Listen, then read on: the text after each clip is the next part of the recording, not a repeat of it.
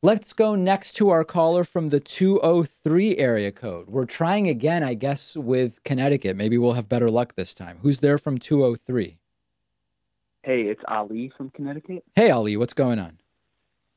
Hey, uh, this one's just lighthearted. Um, I was just wondering about your how-to videos. Okay. Um, I was wondering if you get if you get annoyed when people like goof on them, or would you rather like hide them? No, no, I don't Uh, care. I was 20 No? years old. I produced a bunch of how to videos. I starred in some of them, everything from dog training to uh, basketball to I don't even remember what else. I was like the uh, recipient of a massage and a massage. I don't, I don't care. It's fine. I was 20 years old.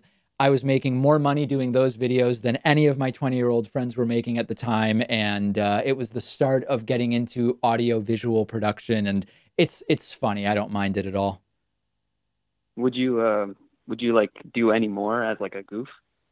I mean, listen, maybe as a goof, but it's I'm pretty busy right now. I don't know that I'm looking to do instructional videos.